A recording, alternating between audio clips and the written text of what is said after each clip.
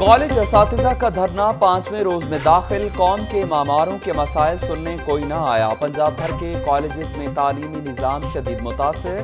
ضلعی انتظامیہ بھی مظاہرین کو منانے میں ناکام۔ چیرنگ کراس کی سٹریٹ لائٹس بند کر دی مظاہرین، اندھیرے میں ڈوب گئے۔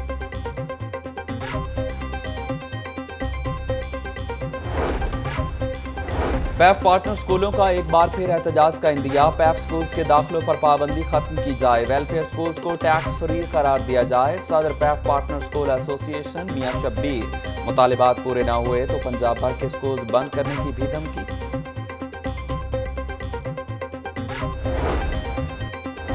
کیمپ جیل سے فرار قیدی گرفتار۔ جیل حکام کے مطابق قیدی کو کیمپ جیل منتقل کر دیا گیا۔ ملزم کو جیل حکام کے حوالے نہیں کیا گیا تھا۔ ملزم کی تفصیلات بھی ابھی تک جیل رجسٹر میں درج نہیں کی گئی تھیں۔ وزیر اعلیٰ پنجاب عثمان بزدار کا ٹھوکر نیاز بیگ کے قریب عارضی پناہ گاہ کا دورہ۔ کمرے کچن اور باتھ رومز بھی دیکھے۔ وزیر اعلیٰ پناہ گاہ میں قیام کرنے والے لوگوں میں گھل مل گئے۔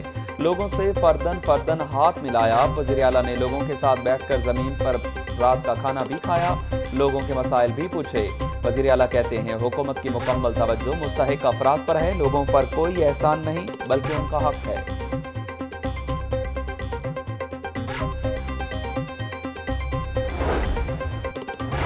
گرین ٹاؤن میں شوہر کا بیوی پر تشدد کا ایک اور واقعہ سامنے آ گیا۔ دو بچوں کی ماں سونیا بی بی بھی شوہر کے تشدد کا شکار۔ بہن نے بھاگ کر شوہر سے جان بچائی۔ متاثرہ لڑکی کے بھائی کا الزام۔ پولیس پر بھی تعاون نہ کرنے کا ایک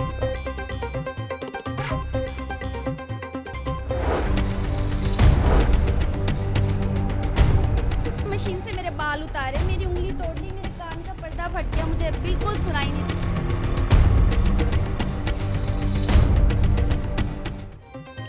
اسما تشدد کے سٹوری میں نئے نئے انکشافات۔ ظالم شوہر فیصل ڈاکو بھی نکلا۔ بیوی پر تشدد اور سار بونڈنے کے الزام میں گرفتار فیصل کے لاہور کے تھانوں میں ڈکیتی کے آٹھ مقدمات درج۔ ملزم کے خلاف تھانہ ستو قتلہ جوہر ٹاؤن، کالا گجر سنگھ ڈیفینس اور کانہ میں مقدمات درج ہیں۔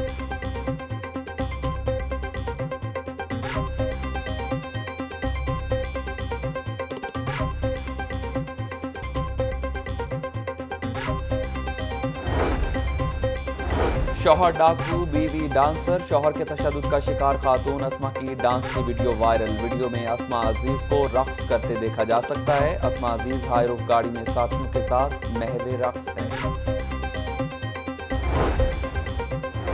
تین روز میں خواتین پر تشدد کے تین واقعات۔ میاں بیوی کے جھگڑے کا ایک اور کیس منظریام پر۔ شاد باغ میں انیلا مبشر پر خاوند اور ساس کا مبینہ تشدد۔ سسرالیے چار سال سے تشدد کر رہے ہیں۔ رسیوں سے باندھ کر تشدد کیا جاتا ہے۔ متاثرہ خاتون کا الزام۔ وزیر اعلیٰ سے نوٹس لینے کی اپیل۔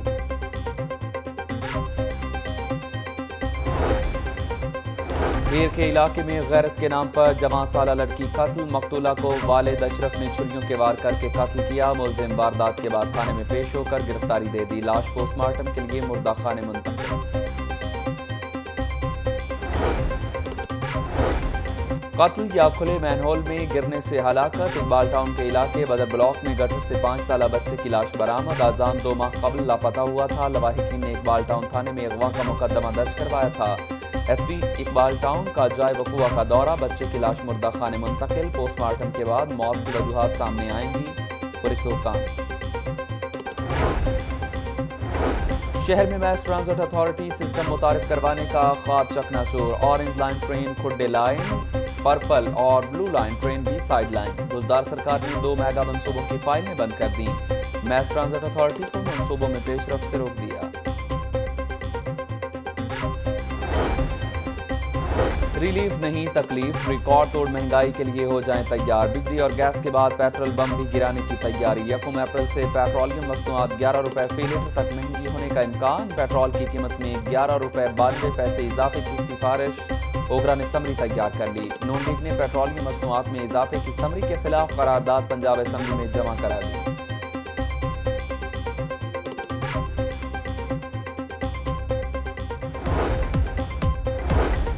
اور جیلانی پارک پھولوں سے مہک اٹھا خوش رنگ کے پھول۔ بہار کی آمد کا پتہ بتانے لگے۔ ہر سو سفید رنگ اور نیلے پیلے پھولوں کے چمک دمک۔ شہری جوک در جوک۔ پھولوں کی نمائش دیکھنے کے لیے آنے